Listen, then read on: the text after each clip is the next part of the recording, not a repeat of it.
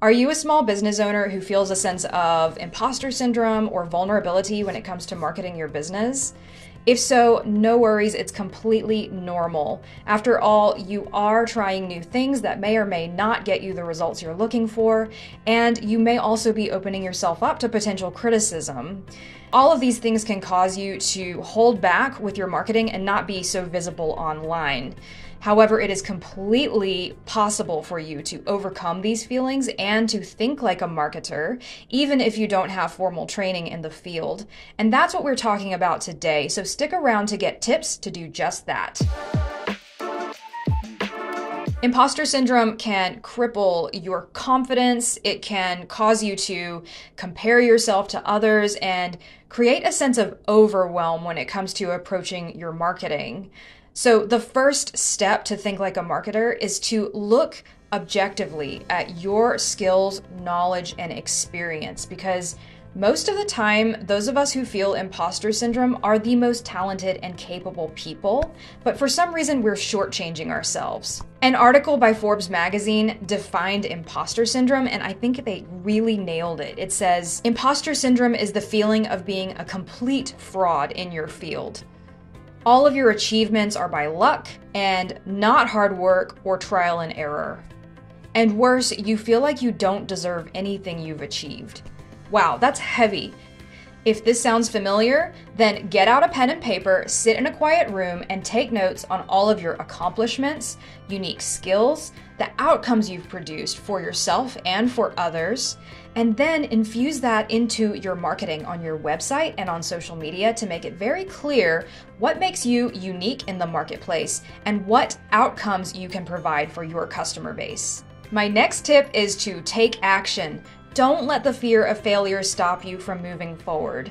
Take actionable steps every day or on specific days of the week to market your business and move your business forward.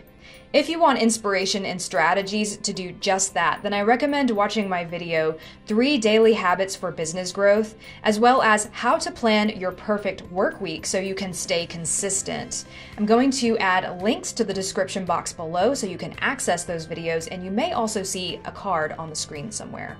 The next tip to overcome your imposter syndrome and think like a marketer is to experiment and have fun with your marketing.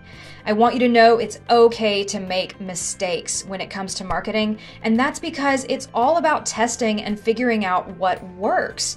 So try different types of content that you're interested in. For example, blogging or video, reels, carousel posts.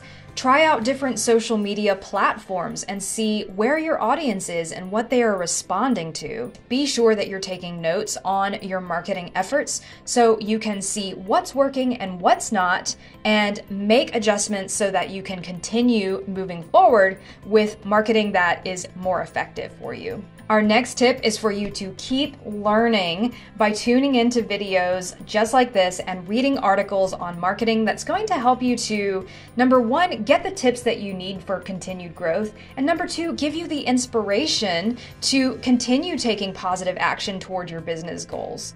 On that note, if you haven't already, be sure to subscribe to my YouTube channel because I post a new video just like this every Thursday to help you develop your most authentic magnetic message and stand out online with magnetic marketing strategies. Be sure to hit the bell icon so you're notified when new content like this goes live every week. Now, hopefully, this video has shown you that marketing does not have to be intimidating if you approach it with the right mindset. All you need to know is what makes you different in the marketplace, have a set of actionable goals to take, and test what works along the way. If you do all of this, you can be an effective marketer for your business. If you're ready to upgrade your marketing and get your business to the next level of success with expert help, support, and guidance, then book a call with me at the link below this video. Now, last but not least, I just want to leave you with this idea. It's that Imposter syndrome does not have to hold you back or define you. You can start to take decisive action toward your business goals today by investing in yourself and giving yourself the permission to know that it's okay to figure it out along the way. Now, I hope this has been helpful to you, and if so, please give this video a like and subscribe to the channel. And I'll see you right here next Thursday with a brand new video.